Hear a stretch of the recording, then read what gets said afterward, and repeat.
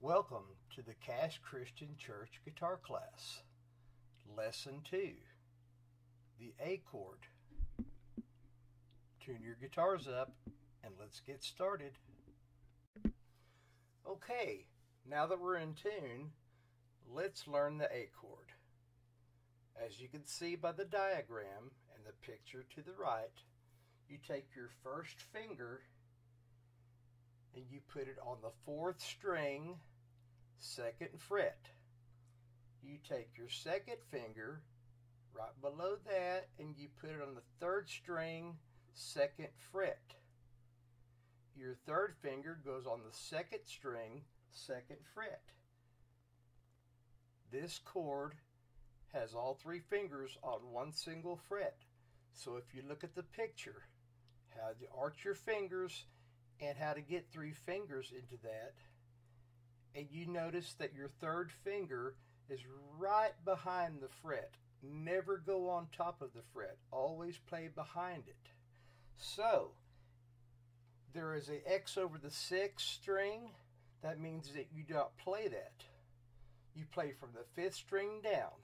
And when you get your chord, when you get a hold of it, do one string at a time like this.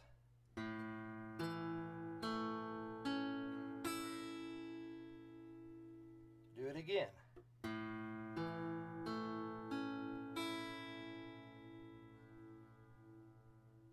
That is the A chord. If your A chord sounds like this, if the three fingers that they're holding down strings sound like this, you need to push down harder. Push down until they sound like this. Here is me hitting the fourth string where my first finger's at. Not pushing down hard enough sounds like this. Push down and it will ring true.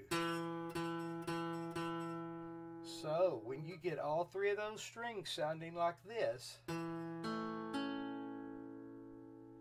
you could play the whole chord, starting with your fifth string, going down one string at a time. Your A chord sounds like this.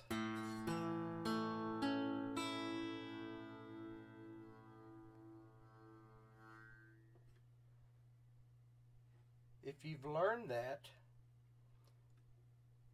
let's play, let's strum one strum per beat. That will be one, two, three, four. And every time you count down, your right arm goes down, down, down, down. Ready? One, two, ready, play.